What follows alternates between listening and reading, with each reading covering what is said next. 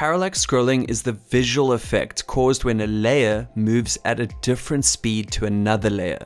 Note how the foreground text moves faster than the background leaves as we scroll. In this short video tutorial, I'm going to show you just how easy it is to integrate parallax scrolling in your Squarespace landing page and impress your website visitors. Just a quick heads up before we get going, Squarespace has been kind enough to give One Page Love readers an exclusive coupon, OPL10, for 10% off your first website or domain purchase.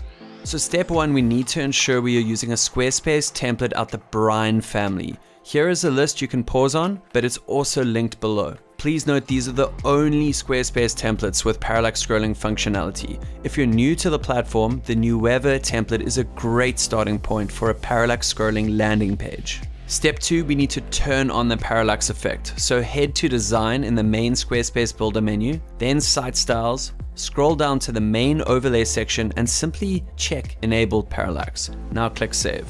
The Brine family templates will all automatically start parallax scrolling the default placeholder content, but if you are creating a new landing page, follow these next steps. Start by creating a new long scrolling landing page using the index block collection option. Simply click the plus icon next to the primary navigation and select the index block. Now we need to add a blank section within your web page by clicking the add section link within the new index you just created on the left, then select the blank block. We now add our background image layer by hovering our cursor over the new section until the section toolbar appears with three options. Select the banner option, then proceed to upload your background image and click save. We now add text within the news section using the content editor. Just like step 3, hover your cursor over the news section, except select the edit option when prompted.